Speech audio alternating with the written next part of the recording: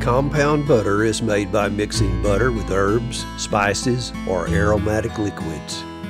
Today we're making Old Bay compound butter.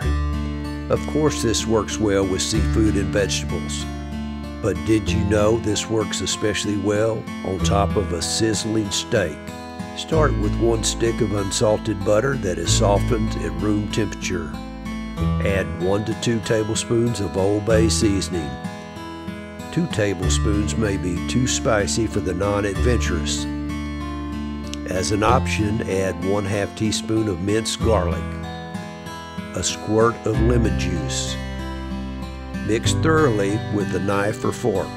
When it's smooth and creamy, transfer to a piece of plastic wrap. Shape it, seal the plastic wrap up, and place in the fridge until the butter firms up. Slice, use, enjoy. Now all you got to do is hit that like button on your way out, consider subscribing, and I hope to see you next time at Paw Daddy's BlindHawg Barbecue.